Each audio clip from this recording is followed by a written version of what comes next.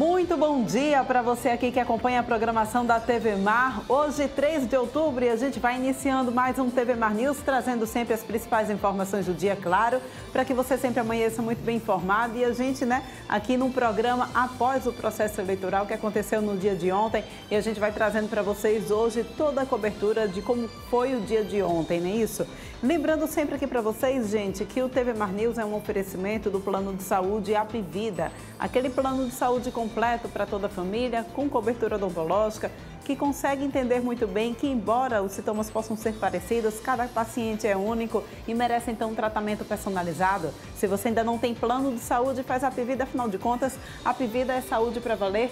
E a gente, claro, também não pode perder o hábito de abrir o jornal aqui nas nossas manhãs, né? Vamos conferir então a Gazeta de Alagoas de hoje. Acesse a gazetadealagoas.com.br e a gente tem aqui, olha, TRE investiga compra milionária de votos aqui em Alagoas. E corrida presidencial, Lula e Bolsonaro vão ao segundo turno. Aqui a gente também tem mais destaques a respeito da, da, da disputa aqui no nosso estado, né? Em Alagoas, disputa segue com Dantas e Cunha. Bancada na Câmara tem renovação de mais de 50% e disputa eleitoral coloca 11 novos deputados na Assembleia Legislativa. Polícia Civil registra crimes eleitorais em 10 cidades. Votação é marcada por longas filas em todo o estado. Esses são os destaques aqui da Gazeta de Alagoas e aqui na, na TV Mar, também na nossa programação. A gente vai mostrando toda essa situação aqui para vocês, tá bom?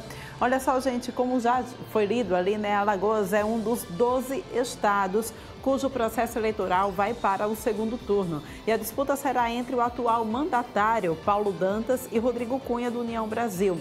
O resultado foi definido ontem às 23 horas e 11 minutos quando, 11, quando 100% das urnas foram apuradas. O segundo turno ocorrerá no dia 30 de outubro. Paulo Dantas ficou com 46,64%, enquanto, enquanto Rodrigo Cunha atingiu 26,79%. Já Colo do PTB, do PTB ficou em terceiro lugar alcançando 14,71% do eleitorado alagoano. Em quarto ficou Rui Palmeira, do PSD, com 10,38% dos votos. Já Cícero Albuquerque, do PSOL, fez 1,19%, seguido de Luciano Fontes, com 0,18%, e Luciano Almeida, do PRTB, que teve um percentual de 0,14% dos votos. Situação de segundo turno acontece também para as eleições presidenciais entre os candidatos Lula, que ficou com 47,85% dos votos, e o candidato à reeleição, presidente Jair Bolsonaro, com 43,7% dos votos aqui no Brasil. E a gente viu no destaque aqui da Gazeta de Alagoas que aqui em Alagoas nós teremos 11 novos deputados estaduais. Quem já está posicionado trazendo essas informações para a gente ao vivo nesse momento é Viderlan Araújo. Viderlan, muito bom dia para você. Bom dia também ao nosso repórter cinematográfico Chico Nogueira.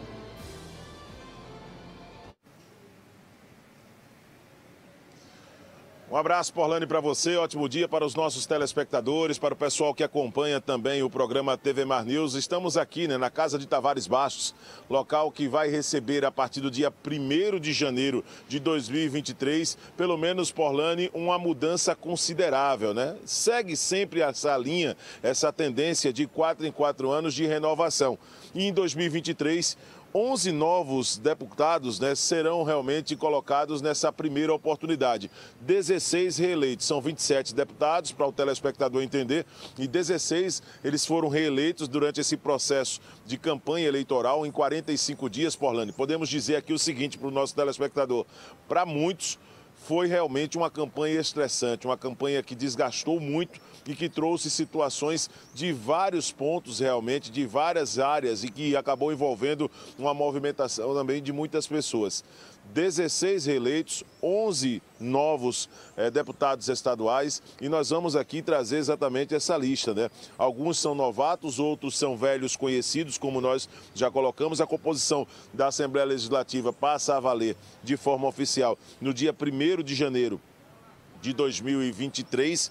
Dessa situação toda, o grande destaque nas votações realizadas ontem em várias regiões aqui em Alagoas, né, dos 102 municípios do nosso estado, foi Alexandre Aires, ex-secretário de Saúde na gestão do ex-governador Renan Filho, que foi o mais votado, né, teve 3,66% dos votos válidos, o que dá realmente em números convertidos 61.142 votos. Foi o deputado, o candidato a deputado estadual mais votado desta eleição. O ex-secretário de Saúde do governo Renan Filho conseguiu se eleger para o seu primeiro mandato no Legislativo Estadual. Lembrando que o Alexandre Aires também teve uma campanha muito forte que foi realizada na cidade de Marechal Deodoro, Porlane, onde ele tem o prefeito, o Cacau, né, que é seu irmão e que realizou exatamente uma campanha muito forte, atraindo, claro, vários eleitores para poder escolher em Alexandre Aires uma possibilidade muito grande, ele por ter essa votação expressiva, de ser deputado também atuante como ele exerceu na função da pasta como secretário de Saúde do Estado. Na sequência apareceu com a segunda maior votação o Cabo Bebeto, ele que representa o PL, né, o Alexandre Ares MDB, o Cabo Bebeto do PL, com 3,10% dos votos válidos, convertidos para votos válidos, 51.721 votos. Foi reeleito para seu segundo mandato e fez uma dura oposição durante os últimos quatro anos ao governo Renan Filho, né? o Cabo Bebeto, que inclusive marchou no primeiro turno ao lado, claro, de Leonardo Dias, vereador por Maceió, que foi vice do senador Fernando Collor, que foi candidato ao governo de Alagoas e que apareceu exatamente depois do resultado desta apuração das urnas como o terceiro mais votado nas eleições. Não vai para o segundo turno, porque, como você bem colocou, Paulo Dantas e o Rodrigo Cunha vão fazer o segundo turno, onde o eleitor alagoano vai voltar às urnas para a escolha do presidente do país, de um lado Jair Bolsonaro e Lula, e o outro lado também para o governo do estado, Paulo Dantas e Rodrigo Cunha são os candidatos que vão concorrer ao segundo turno no próximo dia 30 de outubro. Além dessas novidades, Porlane, como Alexandre Aires, podemos classificar também que o Fernando Pereira, do PP, com 2,72% dos votos válidos, 45.509 votos no total, aparece como novidade também né, nessa, nessa mudança, nessa reformulação aqui na Casa de Tavares Bastos. Car, é, a Carla Dantas que também teve é, uma votação expressiva né, entre as mulheres. Entre as mulheres podemos classificar, Porlane, que a Flávia Cavalcante, ela que já era deputada e que agora vai ter realmente nesse processo de reeleição mais quatro anos como deputada, teve 50.902 votos. Foi a deputada mais votada. Depois dela, a Cibele Moura, que também vai à reeleição agora a partir do dia 1 de janeiro foi a segunda mulher mais votada e logo depois a Carla Dantas, que aparece como novidade nessa lista. Outro também que pinta como novidade como deputado é o doutor Vanderlei, né, cardiologista do MDB, também teve votação muito expressiva, ficando em nono na lista, com 43.512 votos.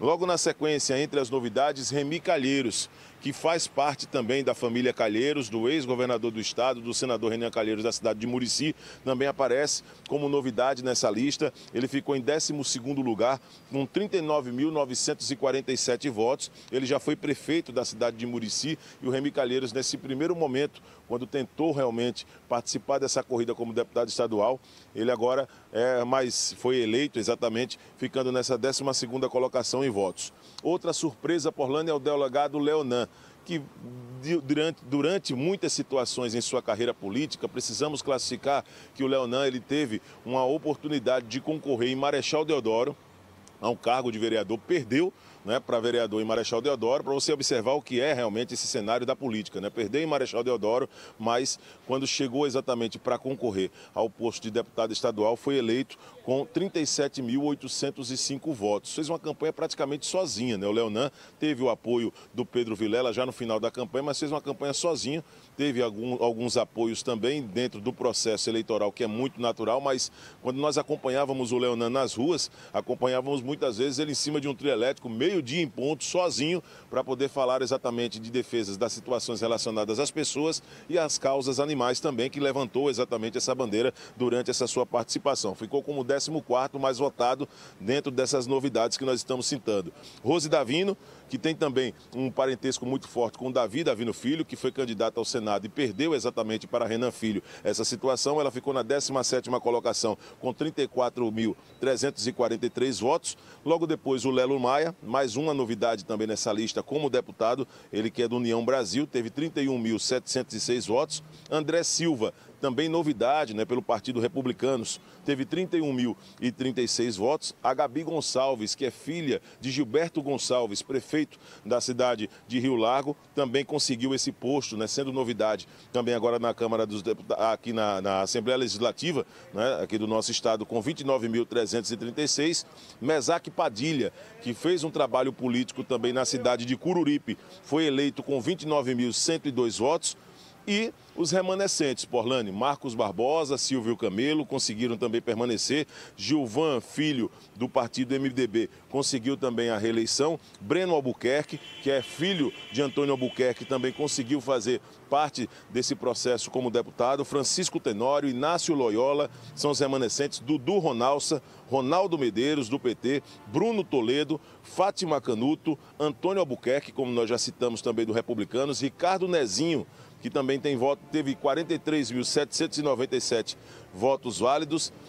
Cibele Moura e Flávia Cavalcante, como nós já citamos, Marcelo Vitor, que é o presidente da casa, né, acabou também se reelegendo, teve 51.259 votos e o Cabo Bebeto, como nós já citamos. Algumas ausências, Porlane, para esse posto, né? A Tereza Nelma perdeu, a Nelma, filha dela, filha dela, concorreu exatamente ao posto de candidata a deputada estadual, perdeu, não vai continuar aqui na Assembleia Legislativa. E Davi Maia também, né, que foi um opositor durante a gestão do Renan Filho e não conseguiu a votação suficiente para poder permanecer. Outros vão se despedir, além do Davi Maia, dentro dessa lista que nós estamos citando, como Lobão, Precisamos lembrar também, o Lobão assumiu o posto de deputado, né, diante desse, desse afastamento de muitos candidatos para poder participar do pleito, e o Lobão ele acabou tendo a oportunidade e vai cumprir esse mandato, acredito que até o dia 31 de dezembro, para poder finalizar essa situação. E Porlane, para poder encerrar nossa participação aqui direto da Assembleia Legislativa, é preciso destacar também que a bancada federal, né, a Câmara Federal, teve toda essa definição sendo traçada ontem e pontuando aqui essa situação toda para o nosso telespectador, nove deputados foram eleitos, sendo quatro reeleitos na bancada alagoana, tá certo? Os alagoanos eles foram às urnas também para poder eleger os seus deputados federais. A novidade para muitos, mas eu diria que novidade em termos de votação que recebeu, foi Arthur Lira, né, uma votação recorde, mais de 200 mil votos. O Marcos Beltrão, o Isnaldo Bulhões Júnior e o Paulão também conseguiram a reeleição, né? A maioria da bancada vai ser composta por deputados novatos entre esses deputados nessa lista, precisamos dizer aqui que Alfredo Gaspar, ex-secretário de Segurança, conseguiu exatamente uma votação expressiva, sendo o segundo mais votado, atrás somente do Arthur Lira. O Arthur Lira teve 219 mil votos né, 219.452 votos. O Alfredo Gaspar teve 102.039 votos, uma votação muito expressiva do Alfredo Gaspar, sendo o segundo mais votado. O Luciano Amaral, do PV, do Partido Verde, teve 101.508. Veio o Marcos Beltrão, reeleito. Isnaldo Bulhões, também reeleito. E o Paulão, do PT, reeleito. 65.814 foi a votação do Paulão. As novidades: Daniel Barbosa, filho do prefeito da cidade de Arapiraca, Luciano Barbosa, 63.385 votos eleito. Delegado Fábio Costa, que também fez parte, assim como o Cabo Bebeto, como o Tiago Prado, como o próprio Leonan, ajudando o Léo Dias e também o, o, senador Fernando Collor na campanha ao Estado, também foi eleito o delegado Fábio Costa com 60.767 votos.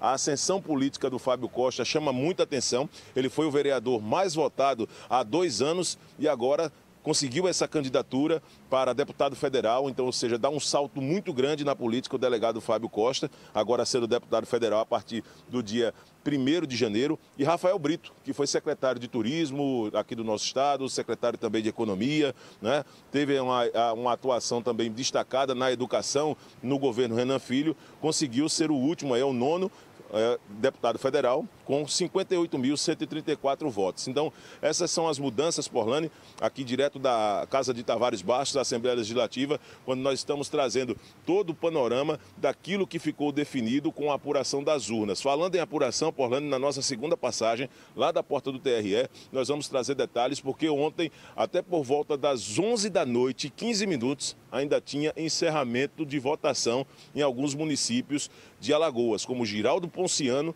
e Arapiraca. Por isso que a nossa apuração acabou demorando, foi um dos estados que mais demorou, né? Alagoas acabou sendo um dos últimos estados durante o processo de apuração no primeiro turno. Daqui a pouco nós vamos conversar com a Flávia Gomes de Barros, lá da porta do TRE, para poder trazer detalhes e um balanço de tudo aquilo que nós vivemos ontem, nesse clima de segunda-feira de muita ressaca para quem participou do período eleitoral, onde nós estamos iniciando mais uma semana nesta participação aqui no programa TV Mar News. Porlane, ao lado do Chico Nogueira, daqui a pouquinho nós vamos voltar em uma segunda passagem, ao vivo, direto das ruas da capital lagoana, para trazer mais informações atualizadíssimas para os nossos telespectadores. Até já!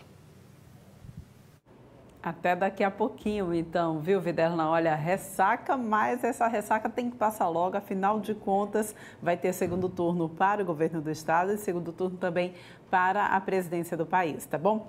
E olha, só fazendo uma correção aí, que o Viderlan falou que o Breno Albuquerque é filho de Antônio Albuquerque, essa informação está equivocada, ele é filho de Dudu Albuquerque, tá bom?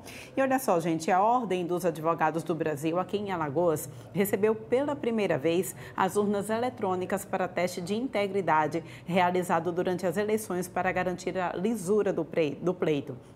Este ano, 20 equipamentos foram sorteados para passar pelo procedimento, um aumento significativo em relação às últimas eleições de 2020, quando apenas três delas foram testadas. Ao final do pleito, foi feito um comparativo entre a quantidade de votos nas cédulas e nas urnas para os respectivos candidatos. Os números, eles precisavam bater para que os equipamentos fossem considerados íntegros, o que de fato aconteceu.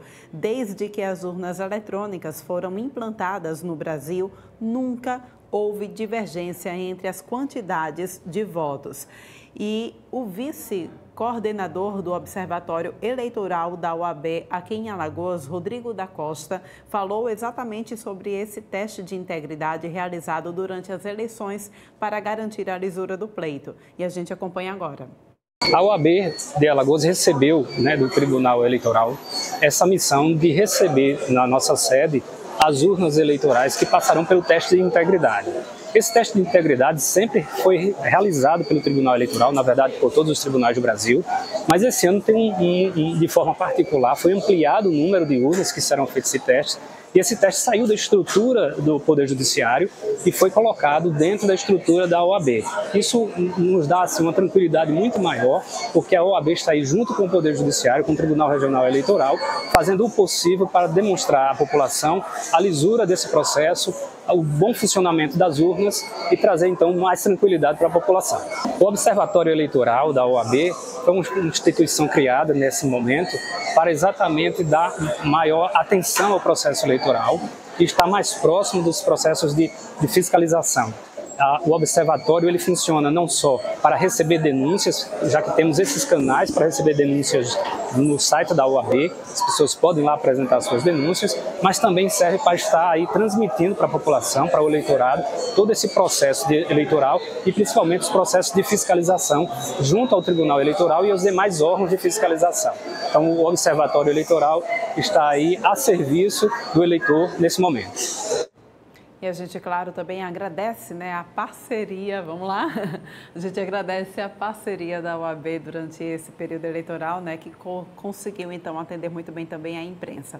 A gente vai agora para um rápido intervalo, mas não sai daí, daqui a pouquinho a gente volta com muito mais informações a respeito da cobertura dia de ontem. É já já.